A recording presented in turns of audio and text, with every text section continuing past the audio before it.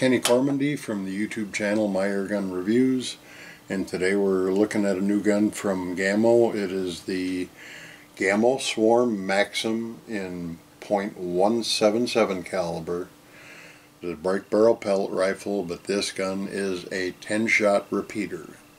You can fire 10 shots without reloading pellets.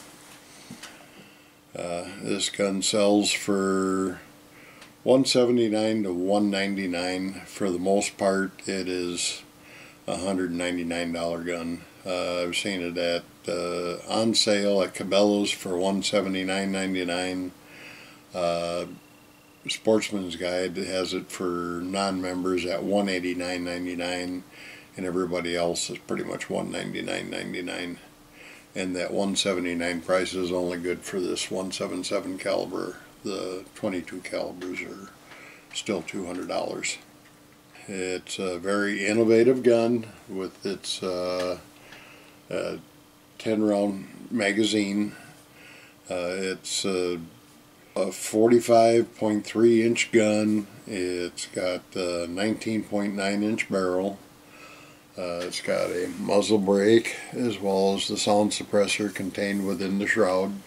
The bare gun weighs 5.64 pounds. With scope mounted, it weighs 6.5 pounds. They uh, claim 30 pounds cocking effort. I have measured it at 33.5 pounds. It comes with Crosman's uh, cat trigger. Uh, I have found this trigger very acceptable and it has manual safety. You pull back to put it on safe push forward to release your safety. Uh, overall, it's a very nice gun, very nice shape. Uh, let's take a close-up look at this gun. As with all the Maxxims, you can see it has an actual uh, muzzle brake on it. You know, you can see right through it. Uh, that's uh, kind of a design that goes back to like World War II to reduce the recoil on a cannon your actual uh, silencer is within the shroud. It's a very large uh, shroud, uh, uh, kind of a composite material. And here you can see your action for uh, your 10 round magazine. And to remove the magazine, press down on this and it pops right out. And then press it back in once it's loaded. The way this works, you can see this spring right here. When you cock the gun, this part drops down over your uh, breech and as you cock it, this wire pulls it forward. It has a probe that pushes the pellet in and then uh, goes back in place. It's a little bit wobbly, but it, it really does function quite well. Uh, you've got a pin with a C-clip on it right here to remove it and then just these two wires. The unit is replaceable. They will make uh, replacements if uh, you happen to break it. And the magazines, uh, they are also available uh, like $14.99. Uh, you can actually pick up a couple and pretty much fire 20 30 rounds without uh, reloading pellets. As a composite stock it's pretty decent shaped stock. Here you can see your CAT trigger. It has their patented uh, recoil reduction rail. It comes with a Gamo 3 to 9 power by 40 millimeter fixed objective scope I found the scope to work quite well, uh, you know, like uh, between 4 and 5 power at 12 yards out to 9 power at 20 yards. Like I say, it's a pretty decent stock. It could use a higher raised cheek piece. Uh, the, this cheek rest really does not come into play. And it's got this O-ring around the butt pad indicating the red indicates 177 caliber, the green indicates uh, 22 caliber, and their recoil reduction pad or shock absorbing pad. I know I said I had washed my hands of Gamo. I just had uh, six of the last seven Gamos I'd had were all bad. Uh, that's six of the seven that I've done this year. And uh, I said I was washing my hands of Gamo, but they came out with this uh, uh, new uh, repeater system and very well I've got to take a look at it. The magazine assembly and the auto loader do work quite well. I had absolutely no issues with it. I fired this gun over 300 times and uh, just shot after shot. There's been no issues. Uh, the only pellet that I had a problem uh, putting into the uh, magazine was the Predator Polymags but they did work. It's just when I put the pellet in, I had to kind of squeeze on the uh, pellet itself. So when I dropped the pellet in, I had to put the pellet sideways a couple of times and just kind of press in here with my finger and then rotate it to the next hole. And uh, and every time I put one in, I would just go like that and then rotate it to the next hole and it it did work out. So there wasn't any pellets that I wasn't able to get into the magazine, uh, including the Hornets and the Gamo Red Fires. The Predator Polymags were the only one that uh, there was any issue with, and if I just in centered, it worked just fine. Uh, it's very easy to load this uh, magazine, so let's take a look at uh, loading up the magazine. This is our pellet clip. You can see by the white dot it's empty. There's the top. There's the asterisk in the shield. You know that it's empty and you, can, you should not cock the gun when that is forward. This is the front.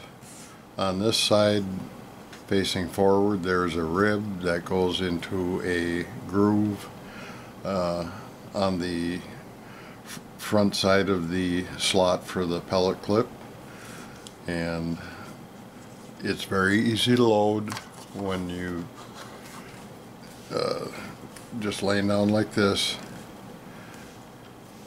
Just start putting your pellets in rotate the clip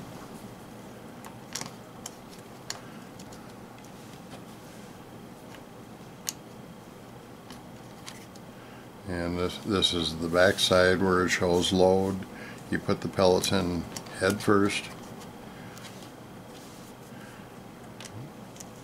When you get halfway there, you'll see a white dot pass by. You know you're halfway.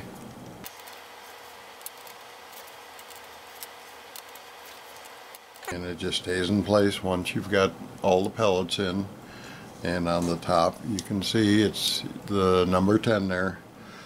That tells you how many times you can cock the rifle it says 10, you're going to cock the rifle 10 times. If it says 5, you're going to cock the rifle 5 times. When it says 1, you've got one cock left. And when the asterisk is shown, you do not cock the rifle. Here's where your magazine goes. Here you can see this, the groove or the slot. There's the slot on the, or the ridge on your clip so that goes forward to your left. Just place that in place, press down, you're ready to go. Okay, you can see that it's a relatively straightforward, simple to do and uh, tells you exactly how many times you can cock the gun before you're going to be installing your last pellet and uh, it, uh, this whole system worked flawlessly. I had no problem with it. I remember using the uh, Gamo Wildcat Whisper and played a little game called Blow Up the Red Dots. This would be a super fun gun to do that with. If you could hit a broadside of a barn while you were standing inside of it, which this gun will not do. Now I know that Gamo makes good rifles. I've had them I've seen them. I looked at Rick Eutsler's uh, review on this. he had no accuracy issues with his at all. His was a 22 caliber, but uh, his gun had been fired over 1,500 times and it worked flawlessly. This thing does everything flawlessly except hit the target. Uh, the gun is putting out low energy, in my opinion. Uh, is rated at 1,300 feet per second, shooting uh, alloy pellets, shooting the what I use, uh, the RWS Hypermax 5.2 grains, which are a half a grain heavier than the PBA. Uh, this gun had a low of 1093, a high of 1137, and an average of 1115 feet per second, and a pretty high extreme spread of 43.88. And uh, muzzle energy averaged 14.36 foot-pounds of muzzle energy. It did much better shooting the RWS Hobby lead pellets, the 7 grain, they had a low of 986.2, a high of 1022, which was one lone shot above uh, a uh, thousand feet per second. Everything else was below, and the average was 997 feet per second. So that one high shot gave us uh, a extreme spread of 35.90 and a standard deviation of 14.66. But that was an average of 15.94 foot-pounds muzzle entry. That is acceptable. That is more than enough power to kill a rabbit or a squirrel at 20 yards. Uh, the most accurate pellet that I could find, which means a sub 5 inch shot pattern, was the Beeman Silver Arrow, which is a heavy pellet. It's 11.57 grain. That had a low of 745.4 feet per second, a high of 755.7 feet per second, average 750.5 feet per second. Extreme spread was only 10.24 feet per second, standard deviation of 5. That gave us 14 and a half foot-pounds muzzle energy. So I'm quite sure there's a lot of pellets in between that uh, generate even better muzzle energy than the uh, RWS Hobby lead pellets. But uh, I did not chronograph them because this gun did not shoot them worth a darn. I thought it was probably maybe the scope walking around. The problem is uh, with this piece right here, I'm very limited into what scopes that I could use to put on there because the Gamo scope is actually longer on the back half than it is the front half. And my uh, Hammers 3 to 9 by 40 AO scope would have come right up to this. It, it just wasn't going to work on this gun. The only rifle that, or the only scope that I had that I could put on this gun that would fit was the uh, 3 to 9 by 32 millimeter adjustable objective scope off one of my Rugers. And I did try that and I managed to shrink the shot pattern by about one inch. So uh, the scope might be part of the issue, but I think the main issue is with the gun. I don't know whether it's a crappy piston seal or if there's a problem in the barrel. But once again, I have gotten a lemon Gamo. I know that they make good ones, but I just can't seem to find it. Uh, and this now makes a total of 7 out of 11 Gamo pellet rifles that were defective. This is the sixth bad Gamo rifle that I've gone through just in the past year. Uh, and overall, 7 out of 11 were bad, including this one. That makes 2 out of 3 Gamo rifles that I have tried to review were bad. And that just tells me that Gamo has got a severe quality control problem. They are putting out good guns. I don't know which line's putting out the good ones, which ones are putting out the bad ones. But I know there's a high unemployment rate in Spain, and there's a lot of good workers out there that would be willing to put this together right if Gamo would just uh, figure out who's screwing up the guns on the assembly line Can I say there's good ones out there and bad ones out there, and I keep on getting the bad ones. So just let it be known, uh, it's a crapshoot as far as getting a Gamo that works properly. Uh, this one, for accuracy, it just, it was a really painstaking target shoot out there. You know, I just uh, two and a half, three and a half inch shot patterns at 20 yards, and that was after putting 300 rounds through this rifle. I'm going to show you the accuracy test using the Gamo scope. It'll be a 10 shot uh, pattern, and then I will show you the accuracy test using the Ruger scope, which is uh, the same power but 32 millimeter but adjustable objective, and uh, then we'll go from there.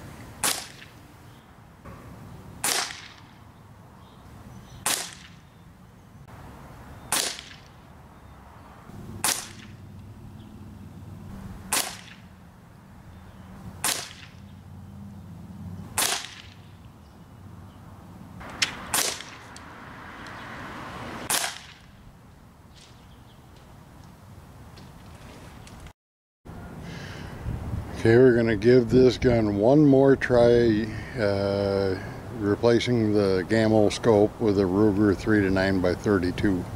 See how we do.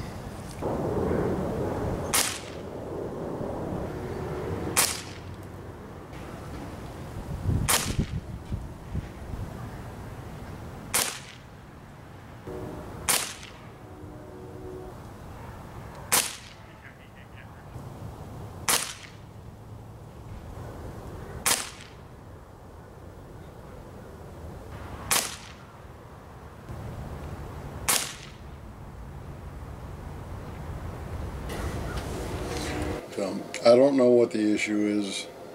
Uh, the the first two shot groups using this scope, you know, one of them four pellets through one hole, but six more all over the place, and uh, you know didn't have much going through one hole using the uh, Ruger scope, but at least it, you know, it was an inch smaller pattern. That's all I can say. Uh, Gamo, if you've got a gun out there that works, send me one. Prove to me that you can make a gun that works, that's got some quality control to it. You know, my God, you know, seven out of 11 rifles that I've gotten from Gamo have been bad. And uh, like I say, I know that there's good ones out there, but you're darn sure not shipping them to the retailers in Minnesota. That is for certain. The Gamo uh, Silent Cat, I bought one. It was bad. I took it back, got another one, brought it home. Same thing. It was bad. Gave up on that gun. Uh, took it back. Got the Gamo Bone Collector. Uh, Maxxim. That one was bad. Took it back. Got another one. Brought it home. That one was bad. I didn't even want to face the guy at the return line again, so I kept that one and rebuilt it. Found out what the problem was, chewed up piston seal. And then uh, I just saw a really good price on a Gamo Whisper Fusion Elite, and I said, "Wow, we'll give it one more try." And sure enough, that one was bad too, so I took it back and didn't even bother getting another one because, you know, why bring home a, one more defective pellet rifle? And I decided I would give Gamo one more try with this gun. And it's an awfully fun gun to shoot, except for the fact you can't hit the broadside of a barn while you're standing inside. And I would just love to have a gun like this that was uh, accurate, but this one I am going to return and I'm not going to try and get another one uh, to see if I luck out and get one that works. Uh, I just, I can't waste that much time and that many pellets on bad gamos. So I'm going to show you just how much fun the gun can be to shoot. So here's a little clip me uh, shooting this gun. Okay, we got the pellets loaded in the clip. Here's our ridge, which will be facing forward to your left side. Drop the clip in, snaps in place, ready to shoot.